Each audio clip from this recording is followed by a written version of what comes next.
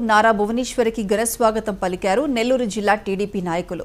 నిజం గెలవాలి కార్యక్రమంలో భాగంగా ఉదయగిరి నియోజకవర్గం కొండాపురం మండలం కొమ్మి గ్రామానికి వచ్చారు నారా భువనేశ్వరి. రాష్ట్రంలో అరాచక పాలన కొనసాగుతుందని చంద్రబాబు నాయుడు ప్రజల కోసం నిత్యం పరితపించే వ్యక్తి అని అన్నారు. టీడీపీ ప్రభుత్వం అధికారంలోకి రాగానే ప్రతి కుటుంబంలోని ఆడబిడ్డకు పదిహేను వేల రూపాయల సహాయం అందిస్తారన్నారు. ఎన్నికల్లో టీడీపీకి ఓట్లు వేసి గెలిపించాలని కోరారు నారా భువనేశ్వరి. ఆయన ఇంకోటి తీసుకొచ్చారు మీ అందరికీ తెలుసు.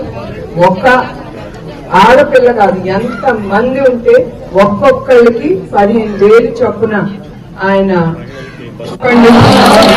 మన రాష్ట్రం అభివృద్ధి అవుతేనే కదా మన పిల్లల భవిష్యత్తు ఉంటుంది ఉద్యోగాలు వస్తాయి. మీకు కూడా సంపాదన అనేది ఉంటుంది కదా.